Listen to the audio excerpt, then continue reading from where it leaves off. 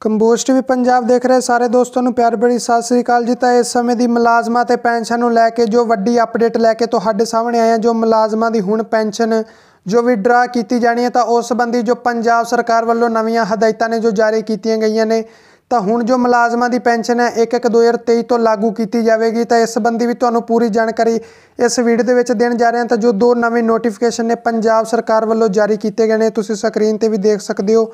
ਤਾਂ ਹੁਣ ਆਪਾਂ ਜੋ ਇਹਨਾਂ ਨੋਟੀਫਿਕੇਸ਼ਨਾਂ ਦੀ ਪੂਰੀਆਂ ਗਾਈਡਲਾਈਨਸ ਜੋ ਤੁਹਾਨੂੰ ਦੱਸਾਂਗੇ ਕਿ ਇਸ ਵਿੱਚ ਕੀ ਕੁਝ ਹਦਾਇਤਾਂ ਨੇ ਜੋ ਪੰਜਾਬ ਸਰਕਾਰ ਵੱਲੋਂ ਦਿੱਤੀਆਂ ਗਈਆਂ ਨੇ, ਤਾਂ ਵੀਡੀਓ ਨੂੰ ਪੂਰਾ ਐਂਡ ਤੱਕ ਦੇਖਿਓ ਤੇ ਨਾਲ ਹੀ ਚੈਨਲ ਨੂੰ ਜਰੂਰ ਸਬਸਕ੍ਰਾਈਬ ਕਰ ਲਿਓ ਤੇ ਵੀਡੀਓ ਨੂੰ ਸ਼ੇਅਰ ਜਰੂਰ ਕਰਿਓ।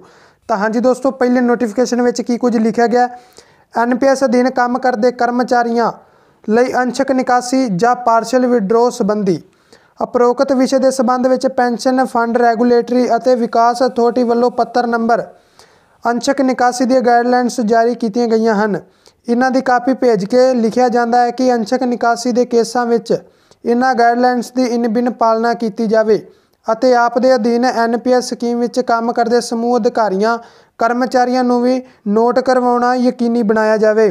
ਤਾਂ ਹਾਂਜੀ ਦੋਸਤੋ, ਇਹ ਬਲਜਿੰਦਰ ਕੌਰ ਦੀ ਅਗਵਾਈ ਹੇਠ ਜੋ ਇਹ ਪੱਤਰ ਹੈ ਜਾਰੀ ਕੀਤਾ ਗਿਆ। ਸਾਥੀਓ, ਜੇਕਰ ਹੁਣ ਦੂਸਰੇ ਨੋਟੀਫਿਕੇਸ਼ਨ ਬਾਰੇ ਗੱਲ ਕੀਤੀ ਜਾਵੇ ਕਿ ਉਸ ਵਿੱਚ ਕੀ ਕੁਝ ਗਾਈਡਲਾਈਨਸ ਨੇ ਜਾਰੀ ਕੀਤੀਆਂ ਗਈਆਂ ਨੇ, ਤਾਂ ਇਹ ਜੋ ਗਾਈਡਲਾਈਨਸ ਨੇ, ਜੋ ਕੇਂਦਰ ਸਰਕਾਰ ਦੀ ਤਰਜੀਹ ਤੇ ਜੋ ਪੰਜਾਬ ਸਰਕਾਰ ਦੁਆਰਾ ਵੀ ਲਾਗੂ ਕੀਤੀਆਂ ਗਈਆਂ ਨੇ ਐਨਪੀਐਸ ਅਧੀਨ ਜੋ ਮੁਲਾਜ਼ਮ ਹੈਗੇ ਨੇ, ਉਹਨਾਂ ਉੱਪਰ, ਤਾਂ ਇਸ ਵਿੱਚ ਸਭ ਤੋਂ ਵੱਡੀ ਗੱਲ ਧਿਆਨ ਦੇਣ ਯੋਗ ਗੱਲ ਇਹ ਹੈ ਕਿ ਇਸ ਵਿੱਚ ਸਭ ਤੋਂ ਤੁਸੀਂ ਨੀਚੇ ਦੇਖ ਰਹੇ ਹੋਗੇ ਕਿ ਇਸ ਵਿੱਚ ਜੋ ਵੀ ਇਹ ਪੱਤਰ ਜਾਰੀ ਕੀਤਾ ਗਿਆ ਇਸ ਨੂੰ 1/1/2023 ਤੋਂ ਲਾਗੂ ਕੀਤਾ ਜਾਵੇਗਾ। ਇਹ ਤੁਸੀਂ ਨੀਚੇ ਦੇਖ ਸਕਦੇ ਹੋ ਉਪਰੋਕਤ ਨਿਰਦੇਸ਼ ਦਿਨਾਂਕ।